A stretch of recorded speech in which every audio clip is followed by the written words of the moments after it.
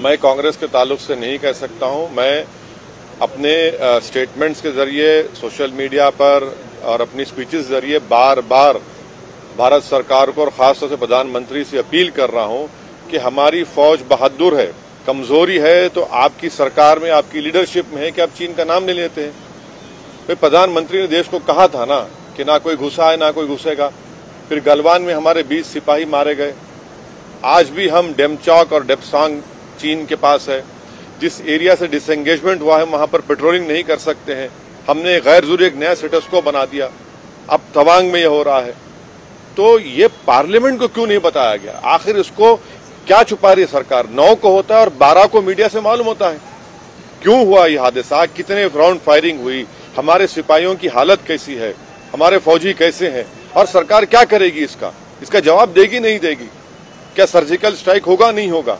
इन बातों का जवाब हम सरकार से जानना चाहते हैं और इसलिए हम कल पार्लियामेंट में जो मोशन देंगे हम उम्मीद करते हैं कि सरकार एक डिस्कशन अलाउ करेगी भागेगी नहीं इन इन, इन मसलों से। ये देश के हित में है। ये देश की ज़मीन का मामला है। ये कोई पॉलिटिकल इशू नहीं है बल्कि सरकार को जवाब देना पड़ेगा इन चीज़ों पर। सर एक तरफ़ तो चीनी सैनिक हमारे सैनिकों पर हमला करते हैं दूसरी तरफ़ मोदी जाके इंडोनेशिया में उनसे मीटिंग करते हैं जी ट्वेंटी में। इसको कैसे देखते हैं सर? बड़े अफसोस की बात है कि हमारे फॉरेन मिनिस्टर ने कहा था कि ताल्लुक पुराने उस वक्त तक बहाल नहीं होंगे जब तक बॉर्डर पर जो हालात हैं वो ख़त्म नहीं होंगे। मगर हम ये देखते हैं कि हमारे देश का प्रधानमंत्री उठकर, जाकर चीन के प्रीमियर से मिलते हैं। आखिर क्यों? इस तरह का, इस तरह उनको अपनी कमज़ोरी को दिखाने क्या ज़रूरत पड़ गई? क्या ज़रूरत पड़? ठीक है जी ट्वेंटी की प्रेसिडेंसी हमारे पास आ रही है। पर इसका ये मतलब तो नहीं है कि हम अपनी ज़मीन पर कॉम्प्रोमाइज करेंगे। एक हज़ार स्क्वायर किलोमीटर पर लद्दाख में चीन की पीएलए बैठी हुई है। ये सच्चाई है।